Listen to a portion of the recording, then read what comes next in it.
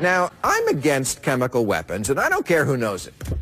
And I do understand the appeal of putting the world on notice that if you use poison gas, the United States of America will personally, personally fuck you up. we will seek out the counsel and support of the entire nation of families, and then no matter what they say, we'll go ahead and fuck you up. but however valid that argument may be, it is, I believe, outweighed by the fact that we have to stop bombing Muslim countries if we ever want to feel safe from terrorism in our own. The chemical weapons treaty is important, but to the jihadi on the street, it just looks like we're always looking for a new reason to bomb them. Even worse, bombing seems to be our answer for everything. Since 1945, when Jesus granted America air superiority,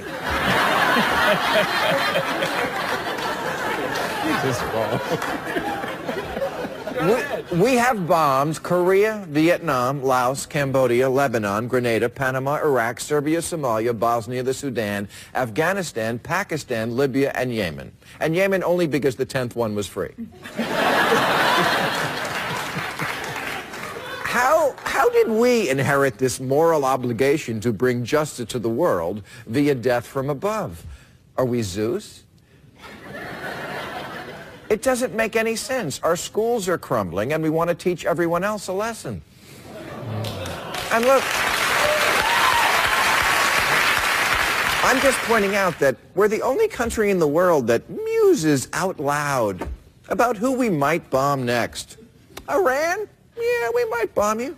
yeah, we're, we're thinking about it. Maybe. Depends on the mood. We did this with Iraq after 9-11, even though they had nothing to do with 9-11. We do it with Iran every day, and now it's Syria's turn. We're like a schoolyard bully who's got every kid in the class nervous they're going to be next. And I don't know if anybody should have that kind of power. Can you imagine going to work and sitting at the table with the lunch with 10 different people in front of you and saying, hey, you think we should uh, kill Bob?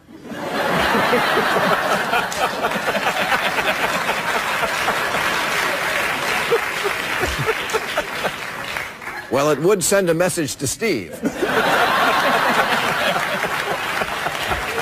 acts like this? People in other countries don't talk like this. Probably because if they did, we'd bomb them. I, I, remember being on the Howard Stern show 12 years ago this week, right after 9-11.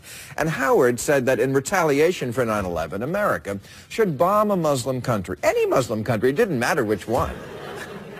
And yet somehow I was the one on trial for talking crazy. And, and